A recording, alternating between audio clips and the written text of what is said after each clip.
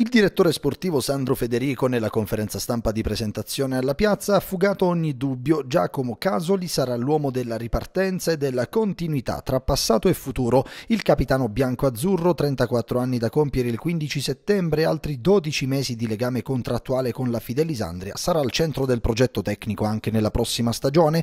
Nonostante le variazioni sullo spartito tra allenatore e DS e un'annata in fase di start-up, Casoli ha convinto Federico e Mirko Cudini Cudini con i fatti, quelli di chi aveva segnato il primo gol in campionato della scorsa stagione, 1-1 al degli Ulivi contro la Juve Stabia, ed era risultato il giocatore più impiegato nel percorso concluso con la salvezza e i play-out, mettendosi a disposizione sempre con umiltà e dando l'esempio con i fatti, silenzioso fuori dal campo, leader dentro. Ecco perché nell'Andria che rinasce nel segno della linea verde, l'esperienza di Casoli resterà centrale.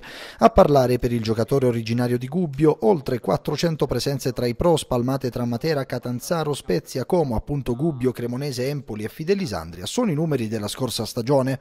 Quasi 3.000 i minuti sul campo, cambiando spesso e volentieri collocazione tattica, ma garantendo carattere, affidabilità, quantità e qualità.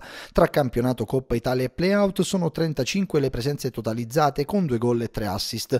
Diverse sono state anche le versioni tattiche ammirate ad Andria. Con Panarelli e Ginestra si è mosso per lo più da esterno destro da mezzala nel 3-5-2. Con la coppia di Leo Di Bari e il passaggio al 4-2-3-1 si è visto il volto multiforme di Casoli, mediano davanti alla difesa difesa, esterno o guastatore tra i trequartisti, diversi modi di intendere il calcio, un solo nome, con fascia da capitano al braccio. La domanda ora è un'altra, dove sarà impiegato nel 4-3-3 di Cudini? Le risposte, carriera alla mano, sono tre, da mezzala destra, quella che sembrerebbe la sua casella più congeniale, o all'occorrenza da esterno alto su entrambe le fasce, o addirittura da terzino destro. La qualità non si discute, soprattutto se abbinata alla capacità di mettersi in discussione ogni domenica sul campo, doti fondamentali fondamentali da esibire e incarnare in un campionato complesso come la Serie C che attende la Fidelis.